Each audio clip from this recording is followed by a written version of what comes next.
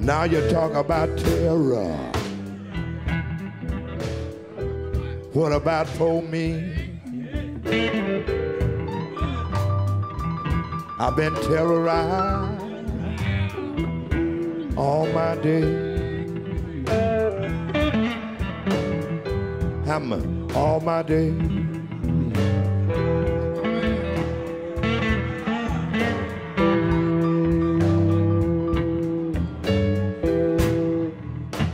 Democratic debate and dialogue have all but vanished in the United States. There's widespread censorship imposed by social media platforms, private corporations about which we know nothing, while they know everything about us. Mainstream news outlets champion censorship and deplatforming in the name of democracy.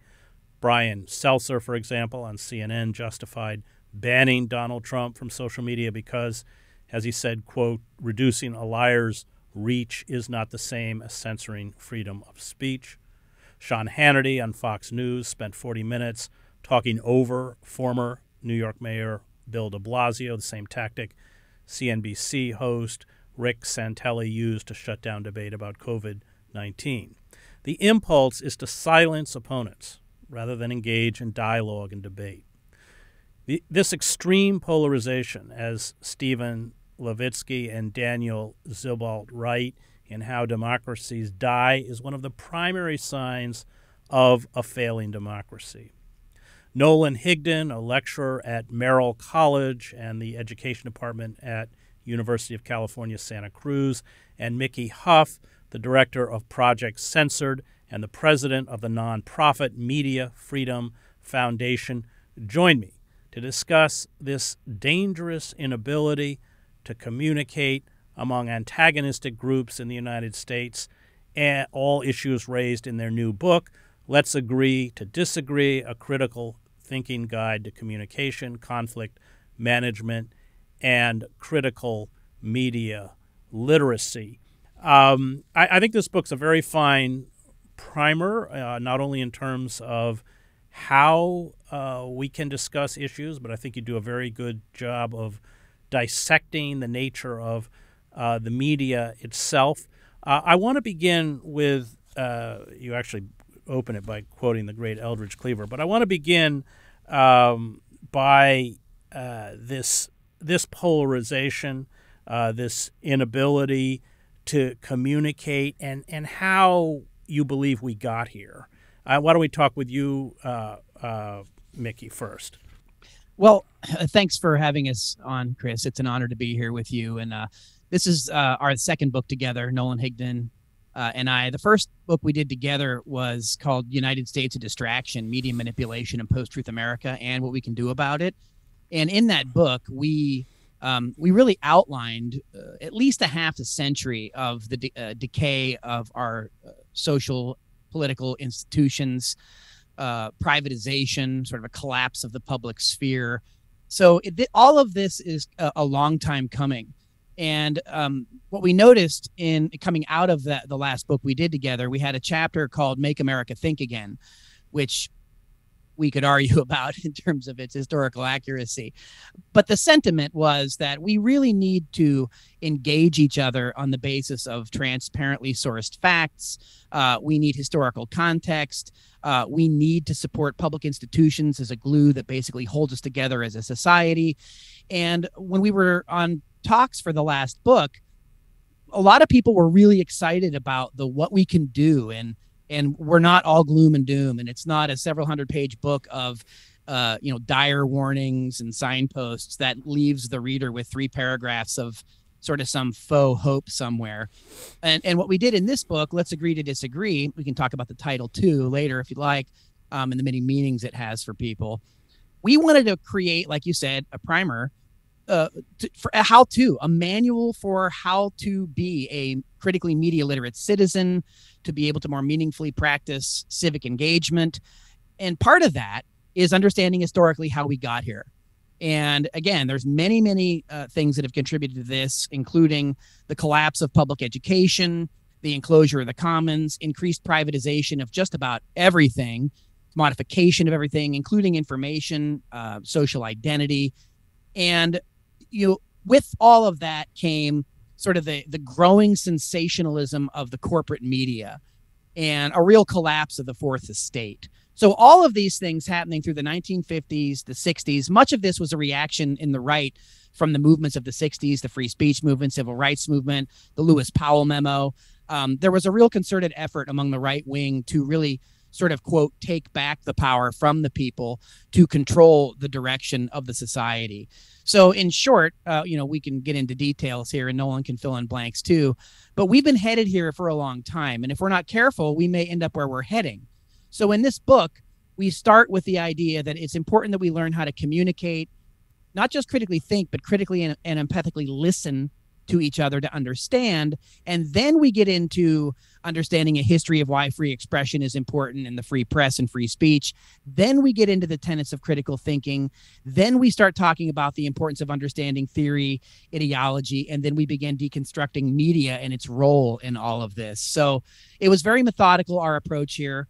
I suppose you could say it is textbook classroom centric, right? Uh, the unfortunate thing is, as a Routledge book, is the price of it for the classroom but we try to take as much out of the classroom as possible as we think as a society. Um, the united states of america is desperately in need of the lessons that i think this book teaches. Nolan i want to ask uh, i want to juxtapose manufacturing consent by ed herman and noam chomsky uh, because i think the media landscape has changed since they wrote that book uh, that essentially the media, and you, have in your book the the fact that uh, ninety uh, percent of the media is controlled by six corporations. I think that's right, correct? Uh, are you talking about electronic, or are you talking about uh, print as well? That's our the the major six corporations. Um, they control what's often referred to as the legacy media, but there's still just a handful of corporations that control digital media as well. So we're looking at about maybe um, 10 or so corporations that control all of the media that, that people use. And I think that's a really important factor when we talk about this because um, increasingly, and people of all age groups say they get their quote unquote news from these digital outlets. Um, and as we, we talk about in the, the text, a lot of these digital outlets are moderating content and only allowing um, access to news content that comes from those six major corporations. So, in a way, it's exacerbating the problems that have existed uh, since the end of the 20th century. And, and yet the model's changed. So, uh, when Chomsky and Herman wrote Manufacturing Consent, you had huge media platforms, CBS, three major networks. Uh, they dominated the media landscape and they sought to appeal to a broad demographic the whole commercial model is different now. Uh, you have media outlets that have essentially created silos where they uh, reach out to a particular demographic, as you note in the book. Uh, publications like the Washington Post, the New York Times, NPR uh, cater, MSNBC cater to uh, those who would traditionally vote for the Democratic Party, Fox News, right wing radio uh, caters to Republicans or the cultists uh, around Trump that have taken over the Republican Party. And that's a very different, and that has proved commercially successful. But that is something that is very different from the old media landscape. Uh, and, uh, and, and what comes with that siloing of the demographic is the fostering of antagonism, that you're constantly demonizing uh, the other. The left does this, the right does this, or let's, I don't know if it's left, let's call it the, the mainstream Democratic Party figures, uh, the famous Hillary Clinton uh, uh attack on Trump voters as deplorables. Um, I want you to talk about that that different Nolan that that that difference in that that's I think seismic change in uh, in, in the media uh, itself within the United States. And I think we do have to acknowledge that this is uh, done for commercial reasons. This is it's done be- because it's commercially viable for for-profit corporations. I completely agree. You, you can't talk about news media in the United States without talking about the commercial interests. And, and to unpack what you, you said a moment ago, uh, which is spot on, the the model traditionally for news media has been to garner the largest audience possible. Um, so you have uh, the left wing and the right wing uh, as it be watching or reading the same content. But with the advent of cable, uh, we started to see cable news, particularly Fox News, try and target one demographic and maximize that demographic. And this trend was um, exacerbated by the internet, where we started to see legacy media go to the subscriber model, um, where you tar- you target one group of subscribers uh, and maximize that demographic as well. And um, you know they use a lot of tools, honestly, from professional wrestling, which was popular in the late 1990s. About you make the audience cheer for the so-called good guy, um, they boo the character of the so-called bad guy and we know less and less about the quote unquote other side because we just have a character of it. And this proves pretty viable in, in terms of economics, but for democracy or community, it's uh, disastrous. Um, you know, polls show Americans' number one fear is other Americans. Um, people believe, in overwhelmingly huge numbers of the population, believe that a civil war is going to happen in the United States in their lifetime. And again, it's largely because of this constant media diet that makes us hate and fear anybody who's different than us and makes us feel absolutely correct in our views and we should go unchallenged. Um, and that's really the story of the ways in which news media are contributing to the problems we describe in the text. I would wonder if it's not really before the internet. I think it's the rise of right wing radio. I'll ask Mickey this uh, because I know he knows it, but the abandonment of the fairness doctrine, Ronald Reagan, uh, or at least Ronald Reagan, whoever was Ronald Reagan's brain, uh, realized after his failed presidential bid that he should go on the radio rather than I think he'd been offered uh, the ambassadorship to the UK and head of the Republican committee or something. And then you saw the rise of these figures like Rush Limbaugh and uh, Savage. And it's interesting that Donald Trump, who uh, has no ideology of his own, essentially parroted back almost word for word uh, but Mickey, talk about uh, the uh, walking away from the fairness doctrine and the rise of right wing radio, because I, I, think, and which all precede, preceded the internet, but I, I, think it's an important element into the corruption of American media. Yeah, Chris, that's unfortunately true. Um, we see the the conflict between uh, historical legacy and establishment media uh, corporations, pretty much, and uh, their new technological sort of rivals, and we we see how the the newer rivals often glom on to some ideological ideologically strident position to really attract eyeballs or ears in this case. I mean, you can go back to the 30s and radio, uh, the advent of television. We've seen these things, and so by the time you get to the 80s, with cable and and the network sort of feuding each other, a lot of attention was focused on on television. Meanwhile. Um, a lot in, in uh, the Democratic Party, they they pretty much abandoned the notion of what what was feasible through through radio, and AM radio in particular became a fertile ground um, for for what appeared to be, at least on the surface, maybe astroturf, but what looked like a grassroots right wing populist kind of movement um, you know, Rush Limbaugh kind of speaking for the working farmer or trucker, uh, working people that had, you know, radios on all day. Whereas sort of the neoliberal corporate centrists that uh, were manifest in the Clinton regime, right? The Clintons coming in and really shifting the Democratic Party to the right.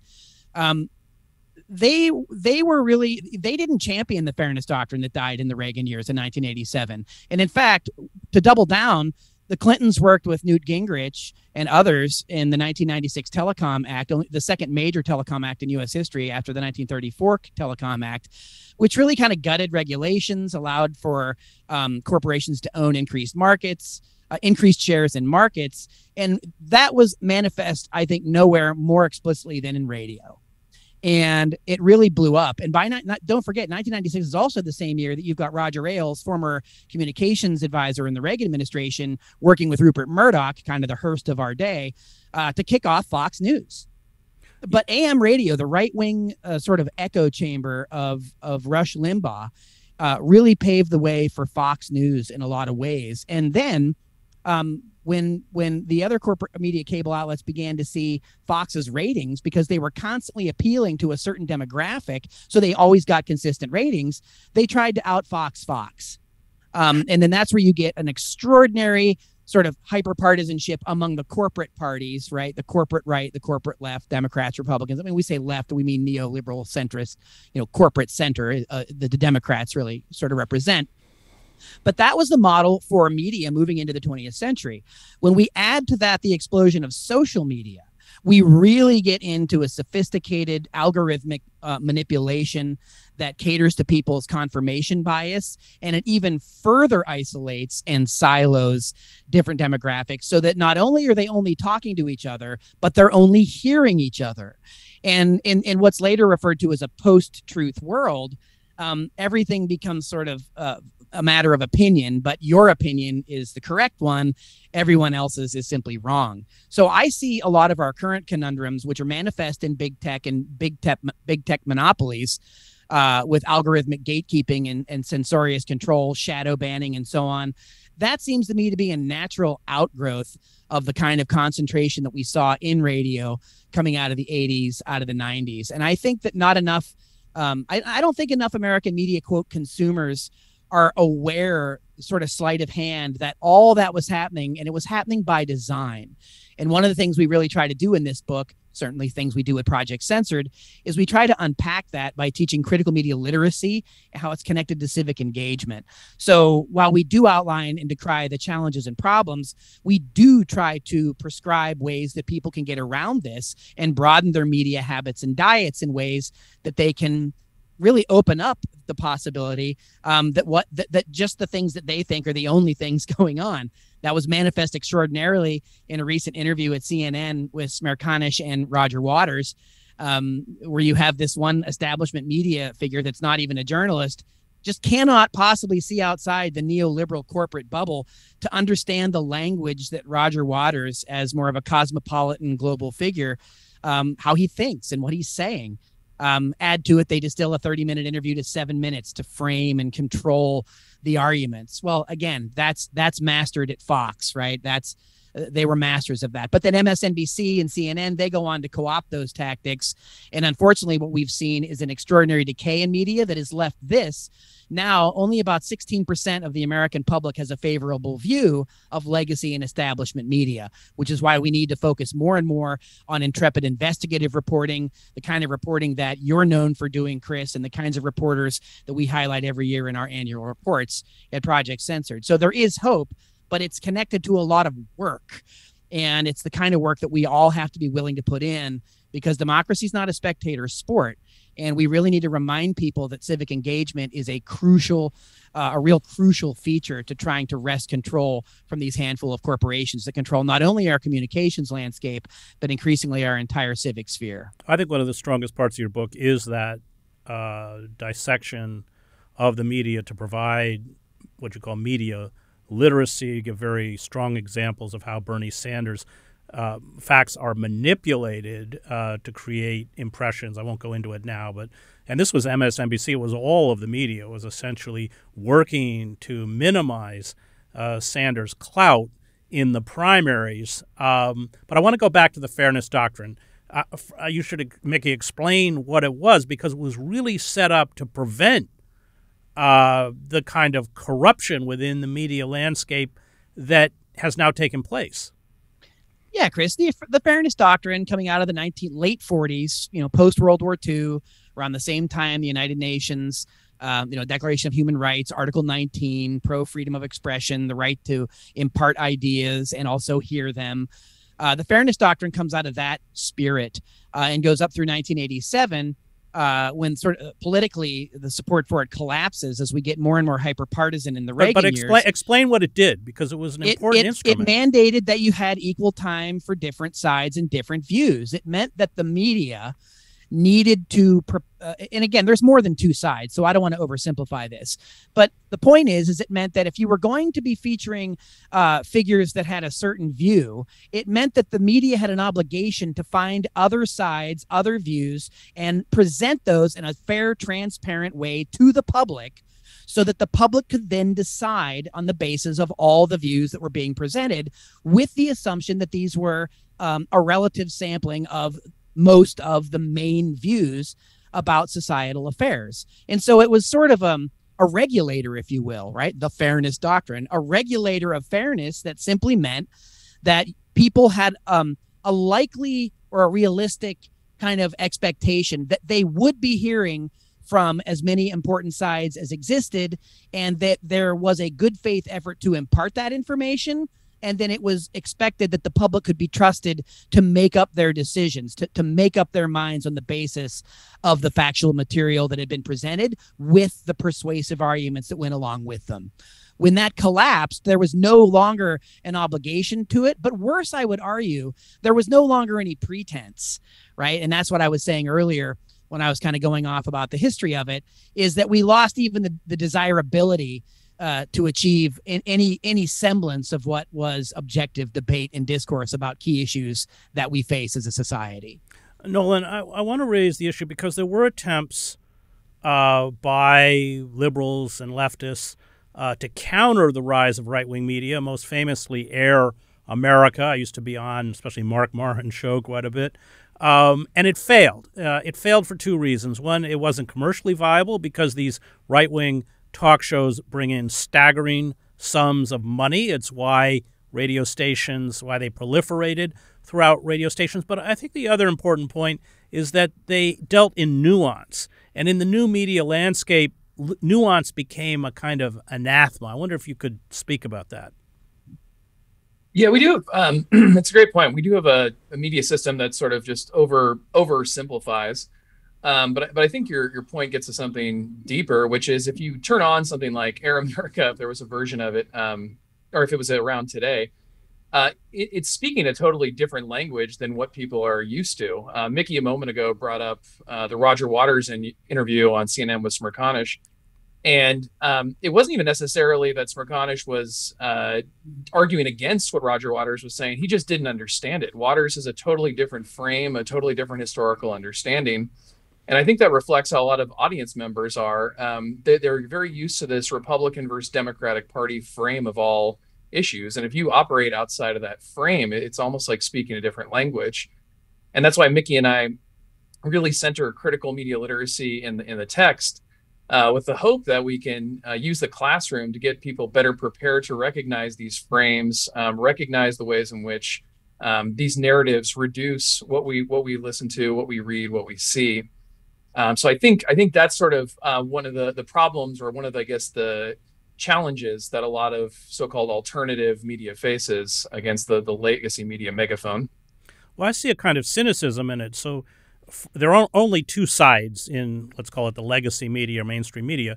That's Republican and Democrat. So you have a very well-paid host posing as a journalist, uh, and he allows a Republican operative to lie for a minute and a half or whatever it is, and then he allows a Democratic operative to lie for a minute and a half. And the person moderating the discussion may be quite aware that both sides are mendacious, uh, but they kind of walk away as if they've done their job. Is that correct, Nolan?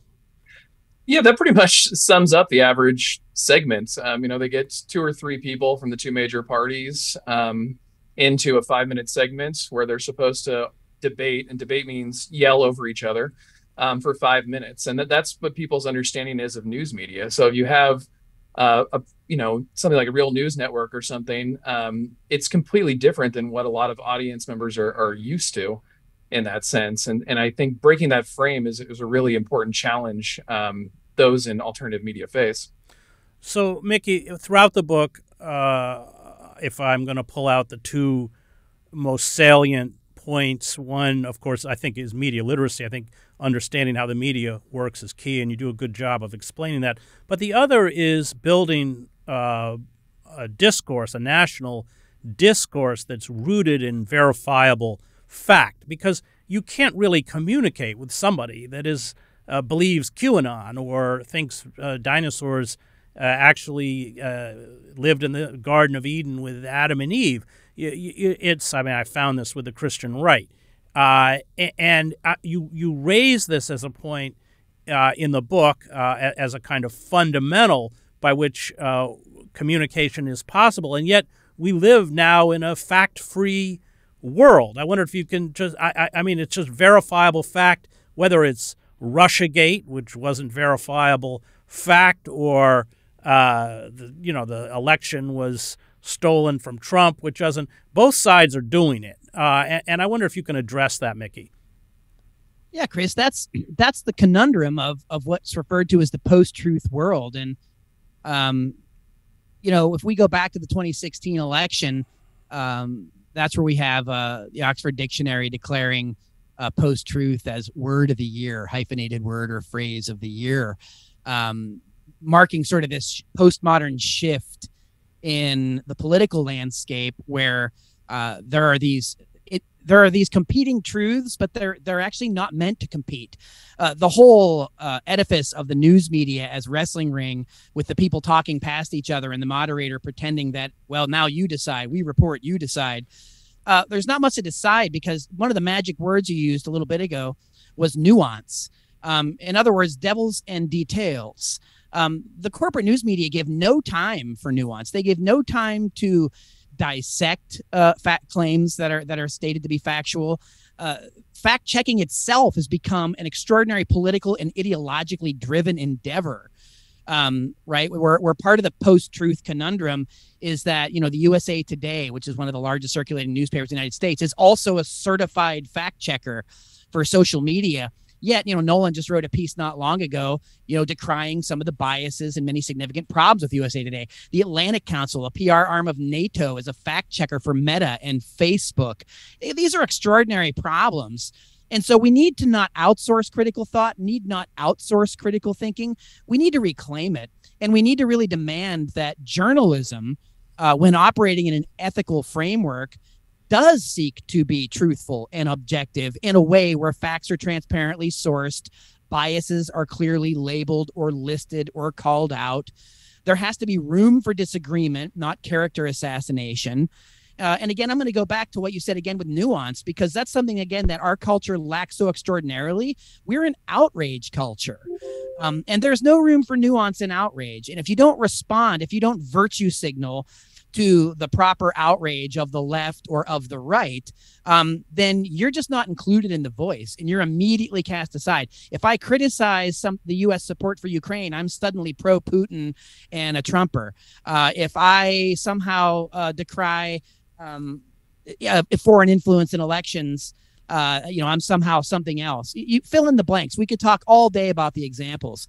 But what we do in this text, Chris, is we try to get away from that and we try to give sorry for the, the the cliche, but we try to give people tools, if you will, for a critical media literacy toolbox that enables them to understand, deconstruct, dissect media messages, political messages in a way that people can ask the right questions, they can talk to each other, not be atomized just through mediated screens, but we encourage people to actually talk to one another. That's not what happens on anti-social media.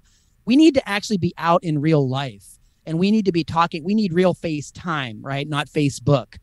And this is the kind of thing that we call for at the end. And we we we do this in ways by also calling out important best practices for critical listening, for hearing views different than our own. We highlight there's a lot of people on both ideological sides that talk about those people can't be reached.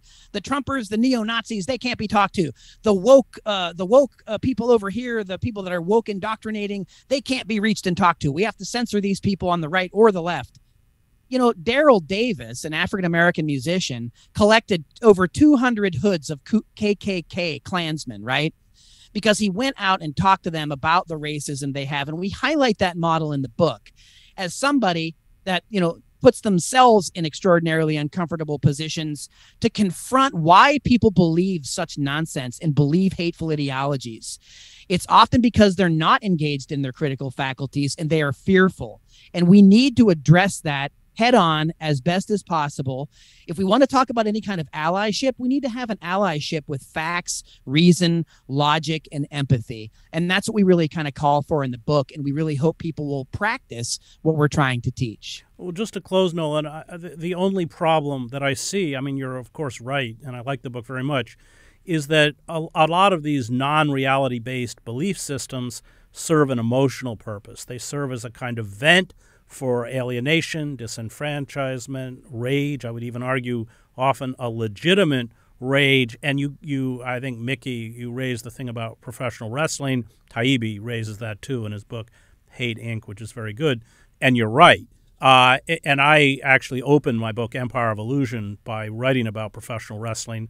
And what was interesting is that nobody in the arena, I was in Madison Square Garden, actually believed that it was real, but they were so emotionally involved in the storyline that it didn't matter. And I think that's what, it, how do you, I guess we'll close, Nolan, with that. We just have a minute left. How do you overcome that? Yeah, it's a great point. Um, we, we not only cover um, ways in which to procure constructive dialogue, we also talk about destructive dialogue. you need a certain sense of um, reciprocity and respect for each other. You need to recognize that people do have hate, fear, anger, emotional needs. And if you're really going to try and be constructive, you need to um, recognize those and you need to manage those, not lampoon the person, insult them, or name call.